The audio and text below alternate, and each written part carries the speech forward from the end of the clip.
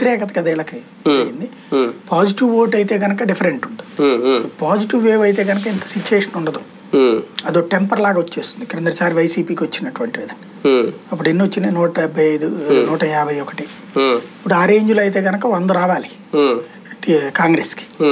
ఆ స్టేజ్లో లేదు కదా. ప్రస్తుతం చూస్తుంటే. ఇవన్నీ చూస్తుంటే కూడా నెక్ టు నెక్ ఎక్కువ కనబడుతున్నాయి. కొంచెం అటు ఇటు కదా. అంటే అప్పుడు ప్రభుత్వ వ్యతిరేకత అవుతుంది కానీ రేవంత్ రెడ్డి గొప్పతనం అవ్వదు. కాకపోతే రేవంత్ రెడ్డి చేసిన మంచి పనుల్లో ఏంటంటే పార్టీలో గ్రూపులన్నింటినీ రా రాహుల్ గాంధీ చేత తొక్కిచ్చేపిచ్చాడు.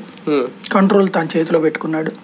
సేమ్ టైం సంక్షేమ పథకాలకు సంబంధించిన ఎజెండాని కాంగ్రెస్ అధినేతల చేతనే చెప్పించాడు ఇతను చెప్తే ఎక్కేది కాదేమో. రాహుల్ గాంధీ ప్రియాంక చేత చెప్పించాడు అది. కాబట్టి దాని ఇంపాక్ట్ అదంతా పార్టీని నడిపించేటువంటి విషయంలో రేవంత్ సక్సెస్ అయినట్టు ఆటోమేటిక్ తెలంగాణ ఏర్పాటు అయిన తర్వాత ఇంకా తెలంగాణలో జాతీయ పార్టీలకు అవకాశం ఉండదు. ప్రాంతీయ పార్టీగా ఉన్న టీఆర్ఎస్ఏ కంటిన్యూ అవుతుంది అన్నారు తర్వాత పేరు మార్చుకున్నారు బీఆర్ఎస్గా. మేమే జాతీయ జాతీయ రాజకీయాల్లోకి వెళ్ళి మొత్తం దేశాన్నే వెళ్తామని అనుకున్నారు. కానీ మళ్ళీ తెలంగాణలో జాతీయ పార్టీగా ఉన్న కాంగ్రెస్ పార్టీ ఎంట్రీ ఇవ్వబోతోంది అనేది. ఎందుకు హస్తవాసి మారుతుంది అంటే?